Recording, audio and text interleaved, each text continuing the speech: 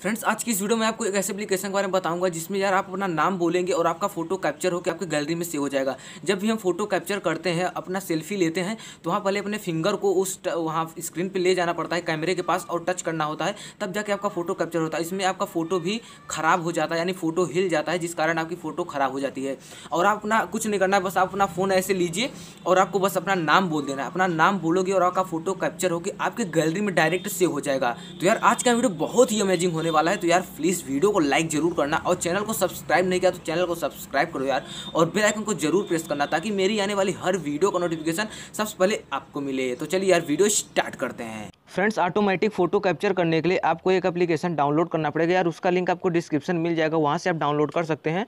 उस एप्लीकेशन का नाम है वॉइस सेल्फी तो यार प्ले स्टोर पर चल के मैं सर्च कर लेता हूँ और उस एप्लीकेशन को डाउनलोड करके उसके अंदर का राज पता करते हैं।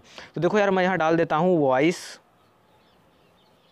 सेल्फी। देखो यार ऊपर आ गया पहले ही रैंक पे आ रहा है तो देखो यही वाला है, यही वाला आपको डाउनलोड करना है तो मैं इंस्टॉल कर लेता हूँ। तो फ्रेंड देखिए एप्लीकेशन डाउनलोड हो गया तो इसको ओपन कर लेते हैं। यार ओपन करने के बाद तो देखो यार, यहाँ अलाउ का ऑप्शन आ रहा है, यानी परमिशन मांग रहा है तो आपको परमिशन दे देना है। तो मैं यहाँ अलाउ कर दे रहा हूँ। जो जो अलाउ का ऑप्शन आ रहा है, सब में अलाउ कर देता हूँ। अलाउ करने के बाद आपको कैसा इंटरफेस दिखेगा? देखिए, कुछ इस तरह का इंटरफेस दिख रहा है। अगर आप इसे रीड करना चाहें तो रीड कर सकते हैं।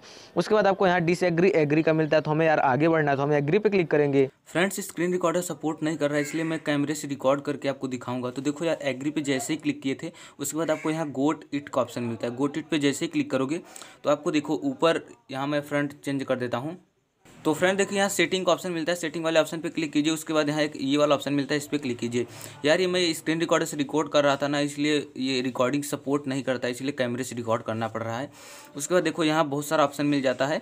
वाई सेल्फी टेक नीचे वाले में अपना नाम सेट कर देंगे तो वही नाम बोलेंगे ना तो फ़ोटो कैप्चर कर लेगा। तो मैं देखिए यहाँ ऊपर वाला सिलेक्ट कर लेता हूँ वाई सेल्फी सेलेक्ट करता हूँ ना। देखो वॉइस वॉइस सेल्फी क्लिक करके उसके बाद ओके करता हूँ, देखो। ये डन हो गया। अब मैं जैसे बोलूँगा ना फ़ोटो ऑटोमेटिक कैप्चर हो जाएगा। देखो, मैं बोल के दिखाता हूँ ना।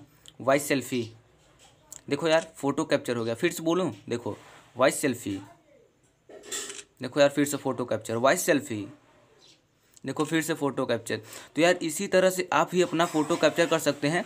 बहुत ही आसानी से यार, बस अपना फ़ोन रखिए और बोल दीजिए तो फ़ोटो कैप्चर हो जाएगा। तो मैं आपको चल के दिखा देता हूँ। गैलरी में चल के दिखा देता हूँ फ़ोटो कैप्चर हुआ ना देखिए, यहाँ फ़ोटो में जाता हूँ। उसके बाद यहाँ देखिए। देख लीजिए, नीचे जितना फ़ोटो मैंने कैप्चर किया, सब फ़ोटो यहाँ पे है। देख लीजिए। यही फ़ोटो मैंने अभी कैप्चर किया आपके सामने।